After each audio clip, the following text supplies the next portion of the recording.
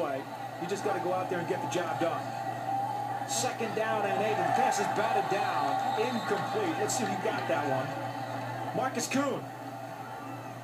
Rookie defensive tackle. Colorful guy out of Germany. Yeah, now this is what they teach again. You get penetration as far as you can, and then you get your hands up.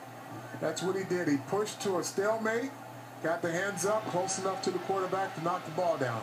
Seventh round pick from NC State. Didn't start playing football until he was 15 years old. A little bit late, huh, Carl? Well, not nowadays it may not. He may have been busy with soccer over there in Germany, you know. they play a different football over there. Yeah, they sure do. How about that sack?